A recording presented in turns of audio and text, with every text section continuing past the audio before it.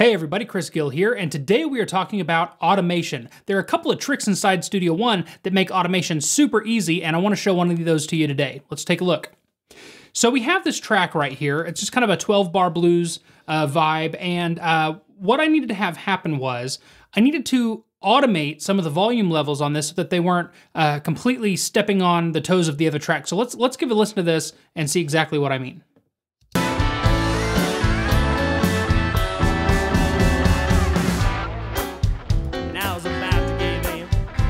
Start talking about true love, started talking about sin. I said, honey, I live with you for the rest of my life. All right, so what we've got going on here is a fairly complex part of this song where there's a, the verse happening and the vocals are happening and they're kind of down low, uh, and we've just got kind of like the band doing these like little mm, bop, bop kind of hits, like filling in the gaps, right? But they're still just a little too heavy. I have already written some automation for this guitar track here but I have not written any automation for this track here. And instead of just writing separate automation, what needs to happen is I need both of those guitars to come down. Well, instead of having to rewrite automation for this and write automation for this, there's a very easy way to quickly write automation for both tracks, and I want to show that to you now. So if you grab both of these tracks, so select one and then using your command key, select the other, and you right click in this area here, we can add a VCA for select channels. Now what this does is it moves these two faders here in in, uh, in relative level to each other. So it doesn't move them up and down the same amount as this one increases. This one moves slowly, and as you approach zero, they'll both hit zero at the same time. Let me let me show you real quickly what I mean. So uh, let's make this much taller so we can really see this effect. So as I move these, the gap becomes less, and they are going to hit zero at the same time right? And as I move them, they're gonna get further apart. So hopefully that that's pretty easy for you to see. Let's put that back to zero. Um, and that's that's the gist of creating a VCA is that they move uh, in relative volume to each other. It's not just a, um, it's not a bus where you turn it up and they all turn up equally. They're they're turning up and down in, in relation to each other. So I need to write some automation that turns both of those guitars down in relation to each other. So here's the easiest way to do this. So we've, we've created this fader, we've created this VCA.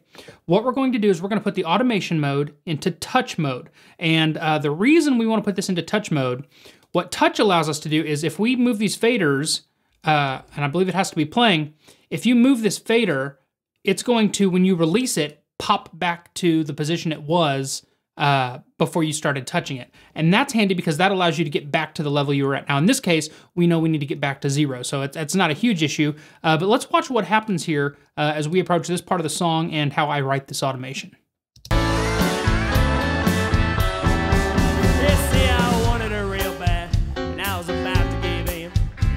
Talking about true love, started talking about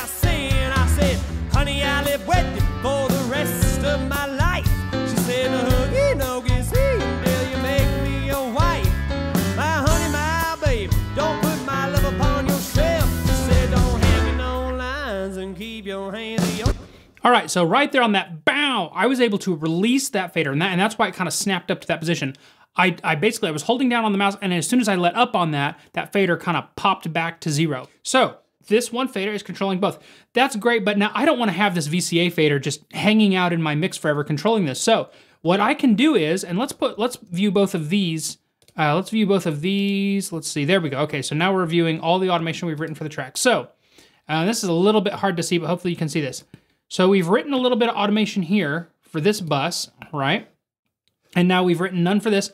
So what you're seeing here, this light gray line here and here is this automation curve. So it's showing you that even though we have actual automation written to this, this automation is happening in conjunction. So what we can now do is right click either here or down here, right click on this, or if you're on a Mac, uh, control click, and you can say merge VCA automation. Now watch what this is gonna do it has now applied that automation to this track.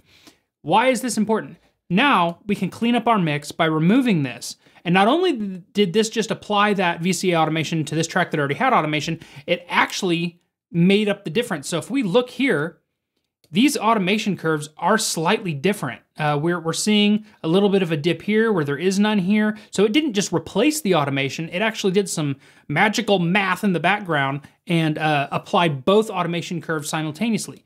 Now we have a nice clean mix without an extra VCA fader in it. Um, and we can, let's take this out of mute. And now let's watch the faders as we approach this section.